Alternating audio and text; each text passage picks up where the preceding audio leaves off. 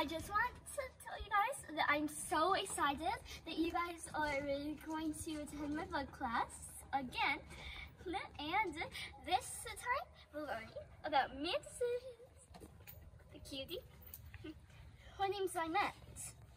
Okay, so Lohit or Mantodeology Yep, um, is going to be co-teaching with me. I cannot wait for him to help me. Okay, so as you guys know that so oh hey Mantodeology. So remember that the first time we met when uh, I was at UC Davis and you were at UC Davis? I remember the cute little praying mantis you brought in. That little praying mantis was so cute. yeah, it was. It was a really special one. Um, I think you took a picture of it. Really? I forget which one it was exactly. Yeah, I think I remember that it was kind of pinkish. Um, it looked like a baby flower. It looked like a baby flower mantis. Yeah, probably. Yeah, I definitely brought an orchid mantis of some kind or a flower mantis of some kind. Yeah. Yeah. I had to be volunteering for the Bohart Museum of Entomology that day. Um, and I know you had followed my page a little bit before that, so you mentioned that you were coming to the event. So, yeah. Yeah. Oh yeah, and I remember that I told you about how ghost mantises are the very best beginner mantises, right? Yeah. You want to get flower mantis instead, but I learned that the hard way. Two flower mantises. Sorry, what did you say? I couldn't. I couldn't. Oh, sorry.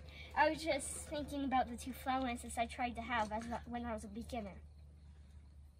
Mm, Did not yeah. go well. Flower mantises can be kind of hard sometimes when they're when you're first starting out, but those mantises are a good way to go.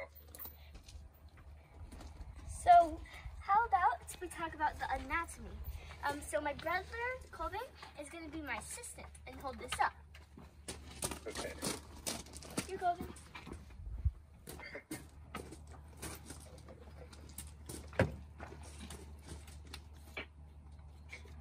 Um, okay, so, so these right here are the cute little antenna. I've, s- I'm pretty sure they use them for smelling, and I've seen my baby mantises tw- twitch them like, cutely. it's so Mhm. cute. But do you know what they really are used for? Because Yeah, I don't know if that's the- exact. One of the reasons that they're used for is definitely smell. They use it to smell their environment. They'll also use it to um, interact with each other, so they'll sometimes touch things that they're not sure about. Um, I'm not sure if that exactly helps them smell better, but certainly when they're mating, males will tap their antennae on the females to let them know that they're a. Sorry. they're- My praying mantis, uh, my praying mantis, Lynette, one of my Hierodulas, I just got, just climbed off a little post. Come on, girl. Get on hand. There we go. you see the cute little antenna? And if you touch them, they'll either start moving forward or they will bend them back. Can I try? Can I try touching her antenna? Yeah. Sure, just be careful. Oh, ah! oh gosh! Seriously, Lynette? Oh my god, that is so creepy. One time, we know, one time I accidentally flicked a yellow one. Come on. One time that was close. I accidentally flicked one one time. Okay, Lynette, back on your post. Trying to run away. yeah, almost did. okay, so of course, there are compound eyes, which, as you can see, with a cute little bulbous eye right there. You can kind of, if you if you look closely, you can kind of see a little black dot, which is their pupil. The it is pretty awesome too. I think she's very close to being an adult. Yeah, she should be one or two months, I think. Yeah. But um, one question. I think one more molt until nice live stream mantises are cool. Their short lifespan keep I I their have short one lifespans question keep me though. away from pulling the plug and buying any. I have one question though. But how old is she right now? A Um, teenager? I know. How old would she So be? we told they. So she. So by the looks of it, she's probably, um, almost. She's probably preteen. If it, she was a human, she would be preteen right now. Preteen.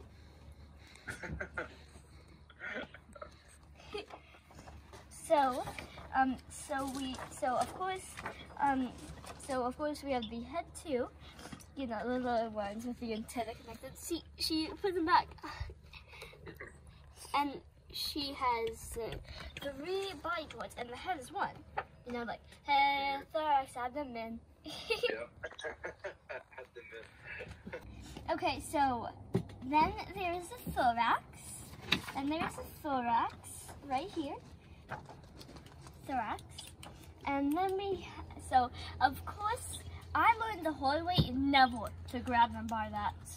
So Yep. the first species I had, um, I found on my porch when I was going on my first day of second grade. I did. Yeah, my brother found saw it when I was when it when I was It was a taking shield picture. mantis, I think. It was probably a shield mantis. It was literally huge. Yeah, it, It was she so was, big. She was huge, but I accidentally grabbed her by the thorax. Was not fun. She uh, pinched. She yeah, did her arms like this and pinched me. Yeah, They have pretty good reach. They can reach really far back behind them. Yeah. Okay, okay, I'll just do it. Okay. I'm just kidding. I would never do So that. they have their reptilian arms. Okay, so of course their wings, which I actually had a crazy incident when I was uh, when I was trying to make my two truncadas. So my male truncata, when I was trying to put it in the container with the female, actually flew down. So this was in my cabin. Um, it actually flew down onto a chair one of my dogs was sitting. He was lucky Raven was in the oh, other room. Raven would have snatched him up in a heartbeat. I remember one time Raven actually ate a butterfly and then spit out the butterfly's wing. oh. Crazy. And also, and also, one time also did eat a spider. She was like, spider. Yeah. She is a pretty crazy bug eater. But she just She's help a crazy flies dog. When I don't have, they help me catch flies before I got my nets. Do both males and females have wings? Um, yes, they do.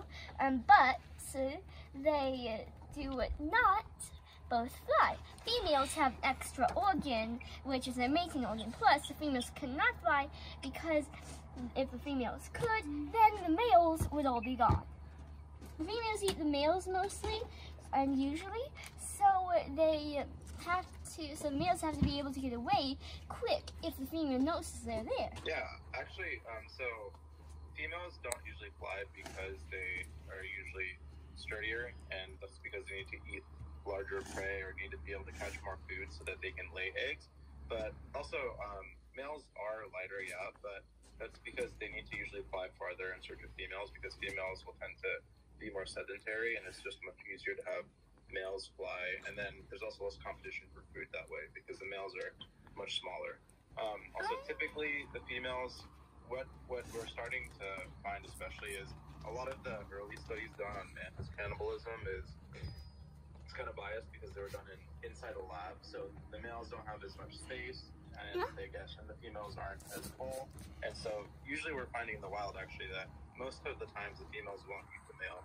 Um, it's actually a lot less common than we think, and it's kind of just one of those myths that's perpetuated about mantises because it makes them seem more interesting for some reason, even though they're already really interesting. Yeah. Um, I have one question though. Of course, then we have the abdomen, which is the head, thorax, abdomen, their Those bot are support where they have food. I mean, the, my other mantis had a little poop growing on her abdomen when I took her out.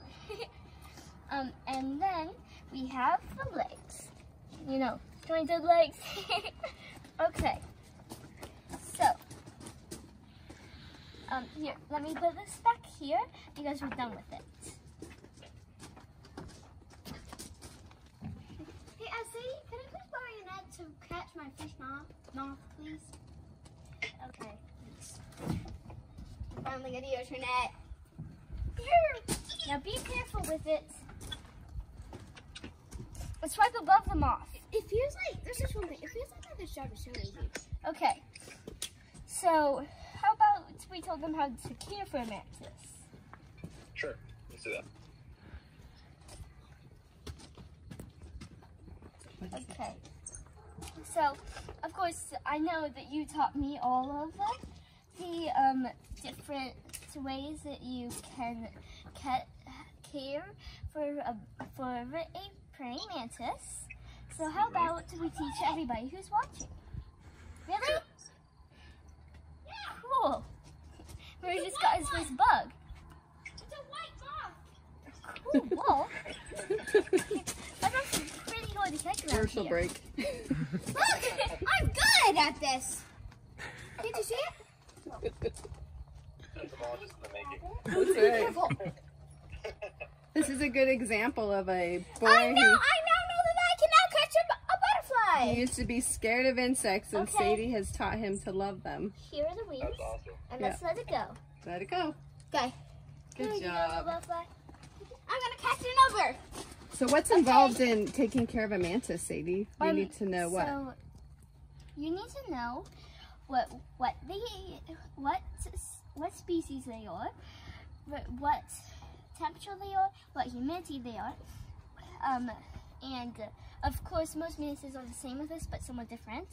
Um, what um, um, how much wat how many times you need to water them or spray them, how you uh, give them water, you know. Um, also, um, what they drink, like what type of water, and um, some other stuff. Here, I'll do Lohit, do you want to explain some of the care? Yeah, sure. Um, so, mantises, um, I think they're, they're, there's a lot of different species from a lot of different habitats. Um, the thing that, like Sadie mentioned, the most important thing is you need to know what species you have, and then from there you can figure out what kind of care it needs because the temperature and the humidity and the water that it needs all depends on the environment that it came from. So, if you have a desert species, you probably don't need to water it as often. Um, it'll get most of its fluids from the food that it eats. Um, if it's a tropical species, you want to make sure that it's given water, you know, pretty regularly, because even with the moisture from the food that it'll eat, it'll still be thirsty. So, um, yeah, knowing knowing what species you have is probably the most important thing because Yeah. it'll affect the way you set up the enclosure and how you So take what- care of it. Exactly. Mrs. Silkworm. So, Sadie, do you want to show them how you keep track of your mantises and Of course. So, of course, I have what species they are up here. Then what gender they are. That's the female sign. Um, let's see. Female, um, do I have, uh, it looks like I don't have a male out here. Oh wait, I do. Wait, this is male? Oh, I should put it back in then. I don't want to fly it off. Yeah, you don't want that. And this is the male sign. We also kind of do color coordination. so the blue is what? So blue is male and uh, pink is female. So we can easily tell without having to look at it. And then we have like adults right here, like this, you know. Then we have the name this way, see? Then we have mated below adult. You know? And why do you track that? um, we track it. Really? Cool. Um, so we track this because we want to be able to make sure that we know um, how long it will be yeah, until until they die. Because we want to make sure that we know that and that we be are able to give them the best life. Um, we also like knowing how old they are and uh, how much experience they've had. It's pretty fun. Do you track their molts? Of course. And I actually have molts right here for my hair doulas. See? nice. That's a lot more. Yep. Yeah. Nice. Can you explain what a molt, either one of you, what a molt means? Oh, I can explain it. Okay, Okay. yeah, there you can go. Would you like to explain it though? Sure, I, I can go if you don't want to. Um, so uh, um, when uh, insect molts, they're um, outgrowing their exoskeleton. So insects and other invertebrates, they have an exoskeleton. So it's a unlike mammals or things that have an endoskeleton, where the bones are inside of them, and that's the skeletal framework that's then built upon with muscle and other tissue. Um, insects and other invertebrates, they have all of their gooey stuff, if you want to say, on the inside. So all their muscles and organs and tissues will be on the inside of their body. But to grow, they need to be able to break the exoskeleton and get out of it, and you know they'll develop their new exoskeleton underneath. So whenever a mantis molts, for example, um, it needs to outgrow its old exoskeleton. So what it'll do is it'll hang upside down. It'll secrete a bunch of um, digestive enzymes to help separate the old exoskeleton from the new one that's developing underneath, and then it'll like open up the old exoskeleton and then emerge, and then it'll dangle down and um, it'll sclerotize, which means the exoskeleton will harden.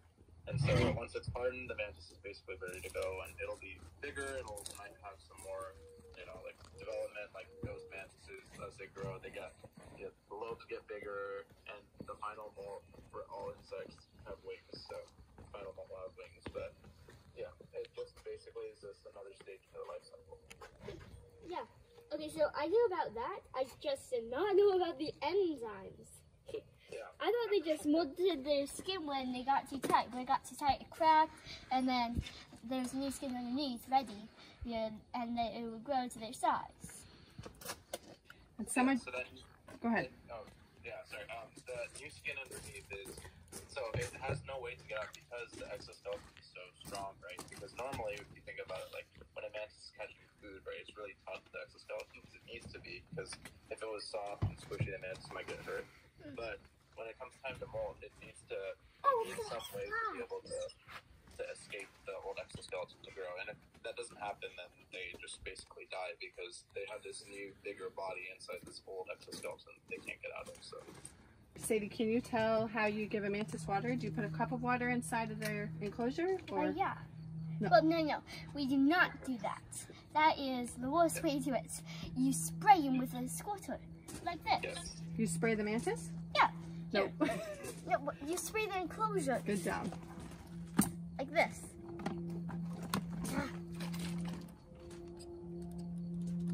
Here, And then how do they get the water? Okay, I'm gonna have to do it sideways. Uh, they use their mandibles to um to put the water in their mouth and then they drink it. Okay. Do you think that we should do with the um true famous facts to a false true or false? Sure. Yeah, we can start. Okay. The first one. First question is praying, ma- can turn their head a full 180 degrees. True or false? Well, Lohi, I'm pretty sure we both know the answer. True. Right? Mhm. So they can turn their heads how far? Um, they can turn their heads a full 180 degrees, unlike us. Which is crazy. That means they can turn their head all the way around and look behind them. It is crazy. Crazy. Only owl, owls are the only other ones I know that can do that. Okay, female praying mantises always eat their mates. False. Right, Louis? Oh, I think we lost him. Oh. What do you feed mantises, Sadie? Um, well, you feed mantises either these fruit flies. Well, look at the how many there are right there. It's best to get flightless ones. It's best to get flightless ones at the pet store. Um, and then the blue butterflies uh, or the next food. What are some other things you can feed them? Um, house flies at any age. Um, cockroaches, though sometimes, but most times, it's just to stick to flies. Um, out here, I actually can show you guys how I feed fruit flies.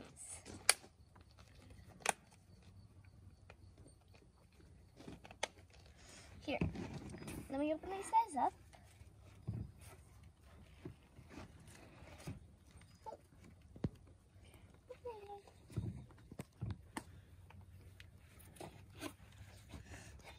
So what are these that you're feeding? Um, I'm feeding baby ghost mantises.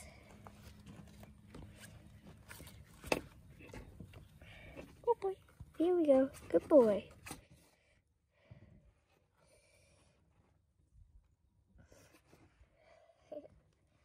Oh, it looks like Lohit said his phone ran out of battery, so you gotta, you get to finish this out. Well, let me put that little guy in there. Thank you. Oh, he's changing it. He'll be back on in a sec. Okay. We'll feed these. Perfect. Okay.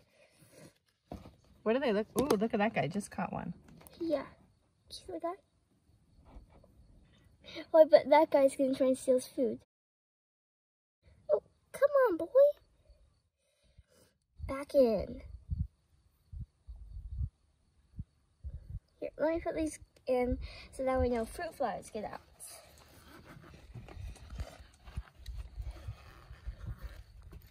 Lohit is back. Let me add him on.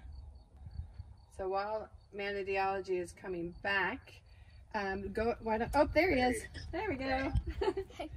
Awesome. They're gonna have to charge really no worries. We um, waited for you on the second question because Yeah. you Oh, touched thank you. you touched base on this. So, say, do you want to read it? Um, True or false? true or false? Female praying mantises always eat their mates, which is false. Definitely false. Um, Uh-huh. It's a lot less common than we think, and it's more common in species where there's um, a cold period because they need to be able to get nutrients enough to lay before the cold season sets in. Yeah. Also, some species of praying mantis don't even eat each other unless they are like completely different age. Yeah, there's some species of mantis that really won't ever eat each other, um, especially because they have ways to communicate within their species. Like um, boxer mantises, for example, will generally avoid um, eating each other and communicate using their um, little fly. forelimb markings. So yeah. Yeah. Okay. Adult praying mantises can live for two years. False, because it varies. The time they are alive varies depending on how much of a good care they get um, and what species they are. Right, Lily? exactly, yeah. So some species of mantis can definitely live quite long as adults. Um, I've had an orchid mantis that made it almost two years as an adult. But um, there's also some species of mantis that will only live three or four months um, post adult molt. So it, yeah, like you said, varies depending on the species. Praying mantises will only will eat only live food. Well, that can be varied sometimes. Right, Lohi? Like if you have a fly, yeah, a dead fly, and you're like shaking it a, lot sit in front of the mantis, they sometimes will think it's slime. Right. Yeah. So you can, because because the um, trigger to feed is is motion, and the way the thing that they're looking at moves. Um, if it moves close enough to a bug, they'll even if it's dead, they'll they'll go for it. Um, sometimes mantises will scavenge. So if they they're eating something and they get disturbed and they drop it, um, and then they're left alone, they might decide to go back and they sniff it out. They'll they'll pick it up off the ground and eat it, but that usually doesn't happen. They'll just rather wait for something else that's alive to come by so they can kill it and eat it. Yeah, I've had that before. I mean, I usually have fly legs and wings on the ground of my mantis containers. Oh, seems like my little girl is ready to come out. Now I put my hand under her this time as I try and get to it. Here, let's get this girl out. Here she is. Um, so the next one, number five. Oh my gosh, this one is definitely false. Mantises, praying mantises lay their eggs deep underground to come uh, up, to come out in the spring. totally false. What do, what do they do? they lay their eggs in egg cases, you know, like the one I showed you, and uh, they put them on trees or the branches. Oh, you caught another one, bro. Cool. Do you want to let go this time? No, keep it. Let's keep it. Yeah, but I don't have the supplies to make a, a proper container for it, bro. Let's just feed it to the praying mantises. No! That's exactly what I would do. He's learning. He's learning. that was good. What? It is a good catch. it's true. It's good food. I Good mean, I job. can't complain. yeah, but we can always catch them, bro. Okay, okay. I'll just feed it to one of the praying. Don't! Come on, Okay. can you please feed it? Okay, we can feed it to one of these. Okay? Yay. How about this girl, the girl that's out? No, no, no. Cause uh, g- um, hand feed. Cause then if we don't hand feed, it'll defile it. Yeah, I know. Here, Man, let me, let me catch I it. keep catching these, right? Yep, good job. And this one is the same color. It's still white. Here. It'll be easier if you twist it. Can you twist it? Who taught you this trick? Here, wait. Sadie, who taught you that By trick? the wings. Look, um, the shapes of nature. Yep. Here. Oh, Oh, please do not eat me. Please do not eat me. Time mantis, please do not eat me. Seriously, girl? I Oh. win. She's faking dead. Oh, oh, please do not eat me. hold it, hold it by one of the wings so that it'll flutter, and then she might go for it.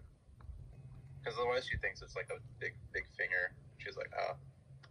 But if you do just one wing and it flutters around, then she might, she might try to eat it. It's not. Hmm.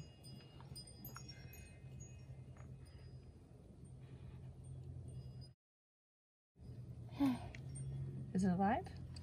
Yeah. Here, let me let go. Come on.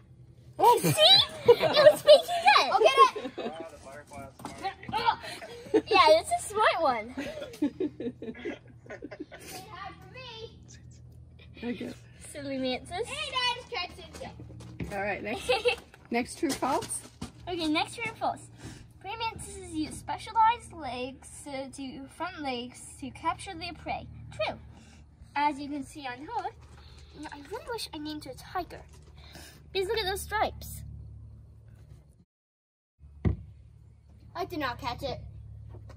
Oh, wait, can you talk about their, not, their it. front legs and how they're quick to catch things? Oh, there they are.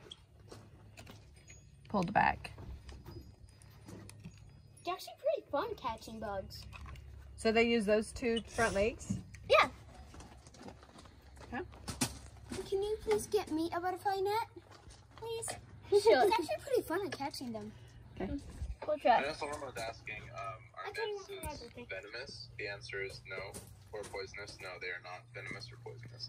Okay, so the next true or false is praying mantises have two eyes but only one ear. Um, true. Really? Where is their ear located, Sadie? Um, on the abdomen. Really?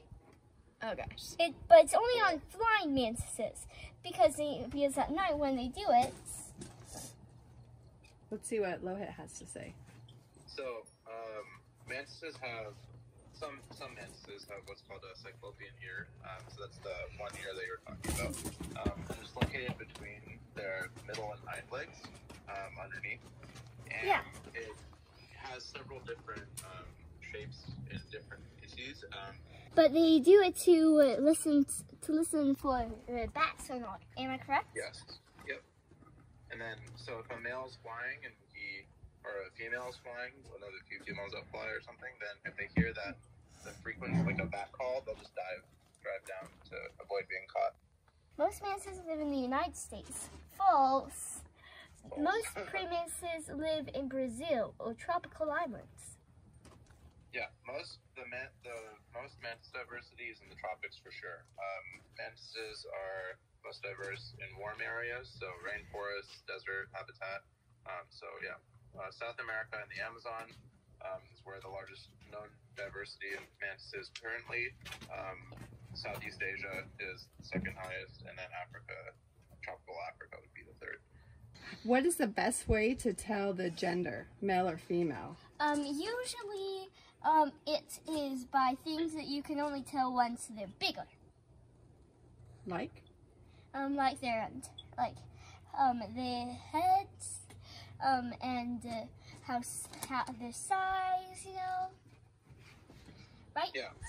hmm Yeah, generally females will be bigger and stockier. Um, they have thinner antennae. Um, they're overall more robust. Uh, the you can tell as nymphs in some species by really obvious um, like things by like like ghost mantises, for example. The crests are different shapes when they're young, um, so you can tell around fourth instar pretty easily. Orchid mantises have different hind lobes at third instar, so you can tell at that point if it's a male or a female. Yeah. Um, but um, the one way that works for every mantis species is um, checking the end of the abdomen, the terminalia. So the last few segments are different males and females. Um, females have six um, visible overall segments um, in their abdomen. If you count from the bottom, males will have eight. And the different colors of mantises are ways that they can camouflage themselves. Is that right? Uh -huh. Yes. So some species will be um, different colors based on environmental factors. Um, for some species, it's genetic. It's pretty cool. Yeah. Cool how they do that. Yeah, huh? how about we do questions? Yeah, Yeah. sure. Let's see. There was one I just saw. How do you know the egg sac hatched? Sadie, you have an interesting story about that, don't you? Oh yeah. So the first time me and my family got an egg sack, um, so it was one of those double egg sacks for your garden, but we were gonna keep them as pets. Um, but one, but we a- but one hatched, and we accidentally put the one that had hatched out, and the one that had hatched in. Many prey mantises were everywhere after that. Yeah. Yeah. Yeah, I still find mantis nymphs in my room sometimes because even when I'm moving things that I've hatched, I always miss one or two, and they just end up on my ceiling or something the next day. So Yeah. just find them around. Green on Green said, "Are praying mantises form friendly, eating insects but not plants?" Yeah, they are carnivores. I mean, insectivores. They say insects. And the big ones will eat the occasional hummingbird and stuff, but that's that's not. Come on, dude. Stop trying that. Wow.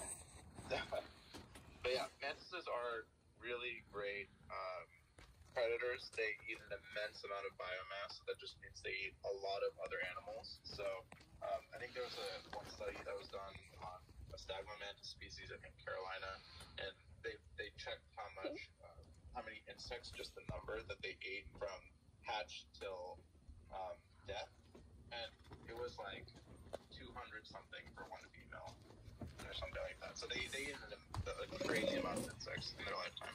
Wow. Um, and guess what? I have this right here. That is uh, the third one. Dot, dot. The third uh, thing that is here. The third worksheet you can Yeah, download. third worksheet for your kids, you can yeah. download for kids. Um, someone asked how long to wait to introduce a male to a newly molted female. Uh, Arthropod ambassadors asked that. what do you Uh, do with socks after Wait, wait, they answer that one. Yeah, that, that depends on the species. Um, so, ghost mantises you could introduce as early as two weeks if the female's receptive. I mean, you can try. I've had I've had females that will mate as early as two weeks, um, and then for some species the maturity period can be over a month and a half to two months, like Theropodes. So it, it kind of just depends on the species, how Awesome. much they're getting as well. Yeah. Awesome. Yeah. Your little girl. Those of you who don't follow Mantodeology, you should because he has taught Sadie. She will tell a you. lot Yep. about mantises. Maybe, maybe a little bit. And he is such a good teacher, so patient with her. And yeah, she just adores him. Yeah, it's so Thank fun. you. Yeah, he's awesome. You should follow him. He has so much knowledge and is super helpful. Yeah.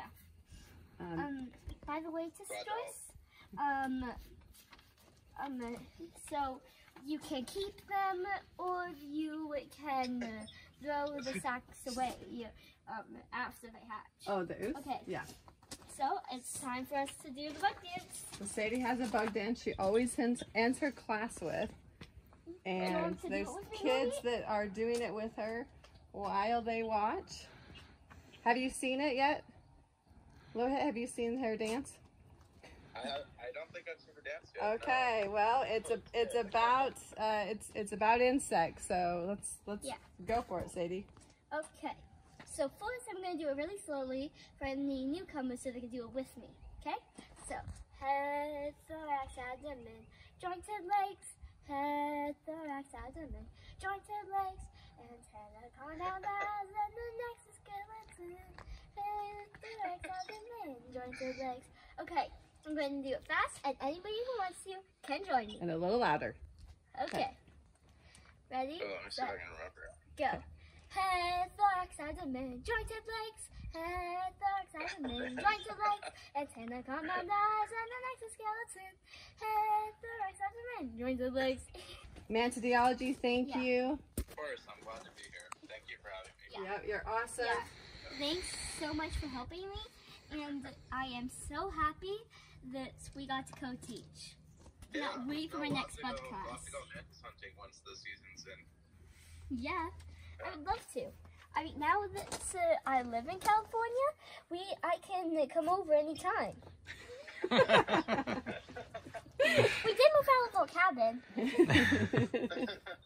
She's gonna be knocking on your door with a bug net. Yeah, let's go. Let's go mantis hunting. It's a couple months, couple months out from mantis season, but we'll get there. Perfect. All right, thanks everybody.